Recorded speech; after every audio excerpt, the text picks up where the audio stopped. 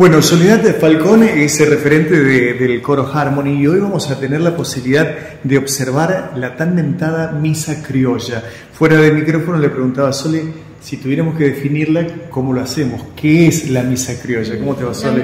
Bien, ¿vos? Muy bien. Bueno, la misa criolla, esta, esta misa particularmente es muy popular mundialmente, compuesta por Ariel Ramírez, eh, se ha hecho por millones de coros en todo el mundo.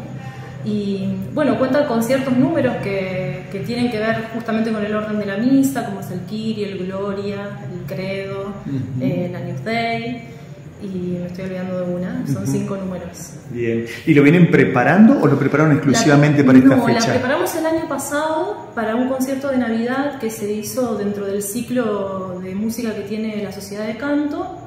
Y bueno, la idea fue hacer un concierto de, de Pascua eh, lo alejamos un poco de la fecha de Pascua porque tienen algunos números que justamente en Pascua no se pueden cantar.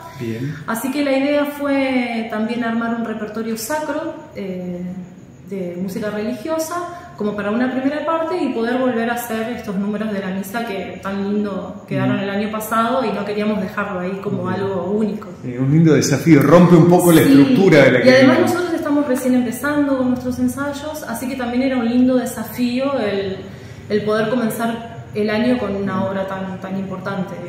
¿Hay artistas invitados? Hay artistas invitados. Está Diego Martínez en la guitarra, Marta Rachel en el piano, Walter Baldo en percusión, bueno, Ezequiel Ambor, que es parte de la Sociedad de Canto, que va a estar cantando los solos de la misa, y Natalia Krause, que va a estar tocando también el piano en algunas obras previas a la misa. Muy bien, ya redoblan las campanas. vamos a la actuación. vamos a la actuación. Gracias, Sol. Gracias.